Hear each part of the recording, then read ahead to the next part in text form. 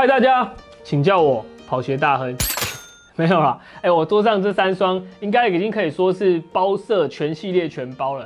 今天就要来跟大家推荐啊，大概在四千多块这个价位的中高阶鞋款，可以怎么样挑选？所以我们就有没有看到我面前超级多双了？但是最高阶的这一款 Adios Pro Two 已经开箱过了，还没看过影片可以点这边。所以今天这双不是我们主角，我们先把它收下来。OK，那我们今天的主角呢，就是 Boston Ten，还有。Adios 第六代这两双跑鞋，那这两双的价位呢，在 Adios 六上面是四千两百九十元，那在 Boston Ten 上面是四千六百九十元。这一集呢，就要来跟大家开箱一下，在这两双上面鞋款的差别。接下来呢，我们也会到户外实际去跑过田径场，还有上坡下坡的柏油路，实际体验之后再跟大家分享它的实际心得吧。接下来我们就先来跟大家在室内开箱一下这两双鞋款在设计上有哪些不一样的地方吧。OK，那我们首先来开箱一下这双 Adios 六。那 Adios 这个系列呢，我前面几代应该有穿过 Adios 五。那在这代跟前几代比较不一样的地方是它的中底有蛮大的改变。在之前的中底呢，都是使用这一层比较白的这一层叫 Light Thread 的这个中底材质。那搭配上 Boost 的这个中底，它是两层叠合。但现在这一代呢，改成是 Light Strike Pro 的这个中底加上 Lightstrike，所以它的中底的材质上算是有一大进步。可以看到鞋底的部分呢，它一样是加入了这个马牌轮胎的外底。那在足弓的这个位置呢，它这次也搭载了这个 Torsion 的稳定片，所以应该是在稳定的效果会有更好的提升。接下来我们实际去外面跑了之后呢，再来跟大家分享实际的这个感受。那可以看到它的鞋面的位置啊，它这次还是有做一点点的，就是足跟的高低差。它的前掌位置的足跟差呢是十九公里，然后它的后跟的位置是二七，所以它的前后足跟差大概来到了零点八公分，所以我觉得算是也有一点推进效果的这个感觉。那这一代的 Adios 六呢，它的单脚的鞋重大概是两百三十一公克。接下来这一双呢，也就是今年的 Boston Ten 第十代 Boston 这个系列呢，应该从出到现在算是一个蛮热卖的这个产线。那这一代可以跟上一代说是非常大的改变。如果大家有印象的话，可以看这支影片，就是我们上一次介绍的台北马限定款，它就是 Boston Nine 的这个系列。在那一代跟这一代的差别最大的地方，就是可以看到这个中底。这次变的是比较厚底的这个系列鞋款，那以往的 Boston 系列其实都是比较薄底的，所以其实我蛮期待这双穿起来的感觉。接下来我们就来跟大家介绍这一代的 Boston Ten 有什么进化的地方吧。那它的鞋面呢，一样是搭载了这个复合色面料，不管是支撑啊，或是透气性，其实都是搭载了非常好的效果。那可以看到它的中底的位置，跟上一代最大的不一样的地方，就是这一代变得超级厚。那如果大家有印象的话，上一代的中底呢，它一样是这个 Light Thread 系列搭配布合的这个中底，但这一次呢，它完全是大改款，直接是加入 Light Thread Pro，就是这个比较像是米白色的这个中底，加上 Light Thread，所以两层这样交叉叠合之后，蛮期待它实际穿起来的脚感。我们可以看到鞋底的部分。部分呢，它一样是搭载了这个马牌轮胎的外底之外，我觉得在鞋底的部分是有很大很大的改进。在上一代的 Boston Nine 当中，其实在鞋底部分是没有加入太多的支撑垫片。那这一次的 Boston Ten 呢，它直接下放了上一代 Adios Pro 才有的这个 Energy Rush 五根的碳纤维这个脚趾的部分，所以其实你在脚底的这个推进效果，我相信是进步非常多的。那这是在后足跟的位置。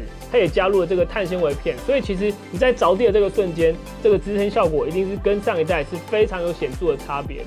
那这次的这个单脚鞋重呢，来到了两百三十九公克，距离它最顶级的这个 Adios Pro Two 系列大概有三十公克左右的差距。那除了这个功课上的差别跟布面的这个面料上差别，其他的功能。感觉上都是非常令人期待，因为它从 Adios Pro 系列直接下放到 Boston Ten 也有这样的功能，我觉得是非常期待的，算是定位上来讲，CP 值应该是蛮双一双鞋款。接下来我们就来到户外实测一下，到底这一双搭载了这么多上一代最顶级鞋款才有的科技，在这个中阶鞋款里面，实际跑起来的感受如何吧？好，我们接下来要来实测一下这双 Adios 六，到底它实际跑起来如何？那我们就出发吧。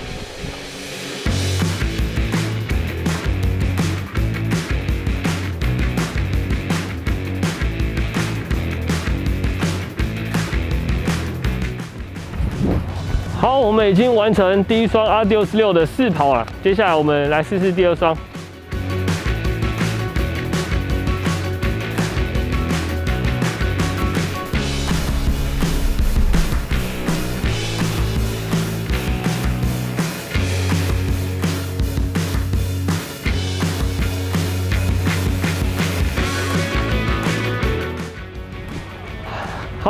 我们已经跑完这个 Boston Ten 的田径场试跑。接下来我们到柏油路去，Go Go！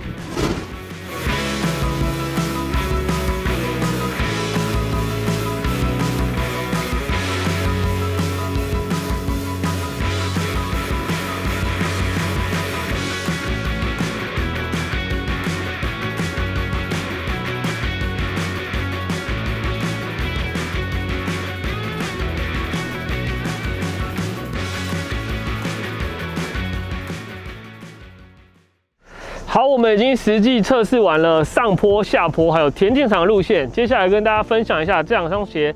我觉得实际穿起来的感受吧。首先我们来讲一下第一双试穿的这个 Adios 六。那这双 Adios 六呢，实际穿起来的脚感呢，我觉得比较像是上一代的 Boston Nine，就是它脚感的反馈比较直接一点。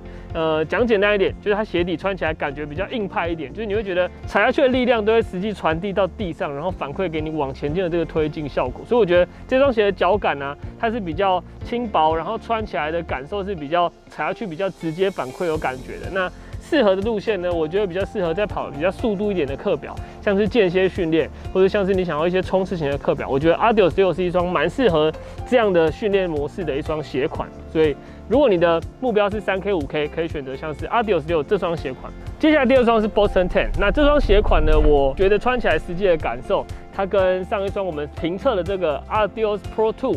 实际的脚感，我觉得还是有一些差距。虽然它在鞋底里面一样搭载了碳纤维的足跟，还有前面的 Energy Rod，但是它实际穿起来的感受，它只有一层的这个呃 Light Thread Pro 的这个中底材质，所以它没有像是 Pro Two 这么的 Q 弹。但它的缓震效果呢，我觉得还是蛮显著的。就是你在上坡下坡踩下去的这个刹那间呢，你都会觉得它的缓震效果是非常有感的。那它在田径场的模式下跑起来，我觉得一样跟 Pro Two 会有一点太软的感觉。所以，如果是田径场训练的话，我会推荐 Adios 六。但如果你是要跑平常的呃柏油路，不管是上坡或下坡，我比较推荐的是这双 Boston Ten，它可以胜任比较多种的这种呃公路的地形，那就适合平常大家在练跑当中可以来做使用。所以，如果你接下来目标要跑半马、要跑全马，要找一双训练鞋的话，我觉得 Boston Ten 是一双蛮好的选择。好了，那以上就是我们今天帮大家实测这两双 Adios 六跟 Boston Ten 的鞋果啦。希望这影片大家会喜欢。我是你教练 j o 我们下次影片见，拜拜。